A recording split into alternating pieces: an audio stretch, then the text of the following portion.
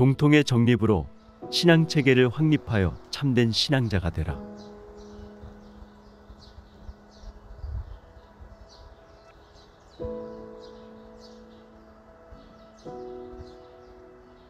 전경의 상제께서 대학 상장을 되풀이 읽으면 화련 관통한다 하셨으니 그 상장 중에 기본난 이말치자 부이며 기소우자박 이기소박자오는 미지유아니라 는 구절이 있습니다. 이 구절의 뜻은 근본이 어지럽고 끝이 다스려지는 일은 없으며 두터이 할 것을 얇게 하고 얇게 할 것을 두터이 해도 되는 일은 없다고 명시함입니다. 전경의 상제님 말씀은 곧 신앙의 체계를 종통의 정립으로 확립하면 시시비비가 없는 신자가 되어 수도하게 되므로 마침내 화련관통의 길을 얻게 되리라는 의미이니 인용하신 본래의 뜻을 마음에 깊이 새겨 두어야 할 것입니다. 본말이란 11호도 해석할 수 있으니 근본이 병들면 그 부분을 속히 제거해야지 그렇지 않으면 지엽까지 따라 손상을 받게 되는 법입니다. 묻혀 있어야 할 근본을 스스로 드러내는 것은 비례망동입니다.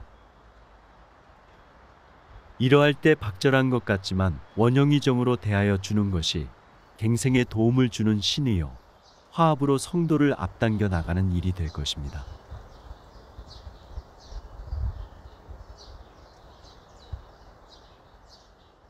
현무경에 우종우영이라 하신 뜻은 종통의 정립과 체계 확립이 기초동량임을 의미한 것입니다.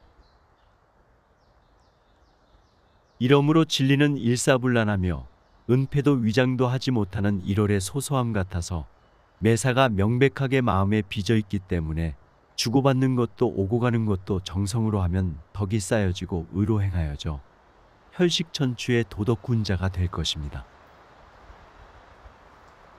우리 도인들은 나 자신이 우주의 채로서 영고성세의 열쇠인 것을 알고 있지 않습니까?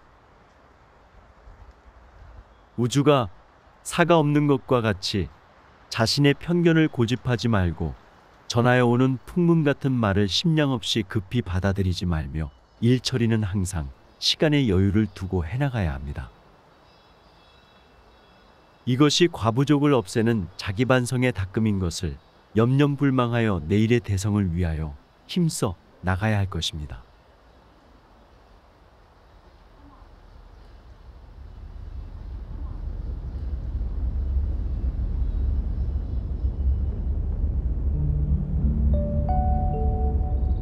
종통의 정립으로 신앙 체계를 확립하여 참된 신앙자가 되라.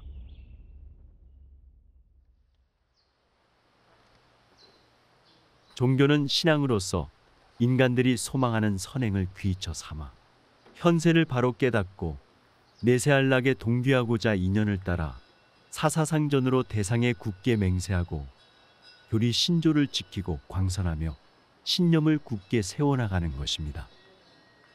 오직 사람의 도리를 극진히 하면 복이 스스로 따르는 자연 섭리의 덕을 입게 마련이니 이는 합덕 진리의 이론 신앙의 정종에서 이루어지는 것입니다. 우선 연원의 종통이 정립하여야 연운이 생동함으로 전경에 연원을 바로 하라 하시고 또 환고라는 자는 살아남지 못하리라고 공사로 정하셨으니 종맥이 바로 서야 신앙심이 건실해져 파쟁이 일어날 수 없으며 마음으로부터 일어나는 미혹이나 또는 남의 유혹에 말려들지 않게 되어 오직 자기 수도를 위한 일심의 소망을 정성으로서 관철할 지조를 가진 신앙자가 될 것입니다.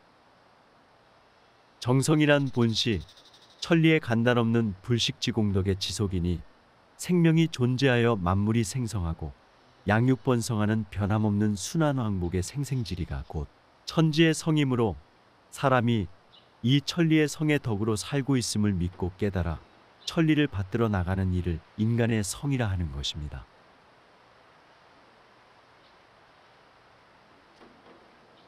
성 자체는 무의화의 형이상의 공덕이요 인간의 성은 형이하의 유기유정이기에 반드시 소중히 여기는 물질로서 성심을 표현해야 하지만 그 다과를 논하는 것은 결코 아닙니다. 그러므로 도를 믿고 닦는 사람은 유물을 막론하고 성금을 지중히 받들고 임원들은 성금을 받는 즉시 영대에 구하는 뜻을 신입 도인이 되었을 때부터 깨우쳐 주어야 합니다. 성금이 개인에게 머물러 있을 수 없는 것은 마치 생명의 원동력인 호흡과 같은 것입니다.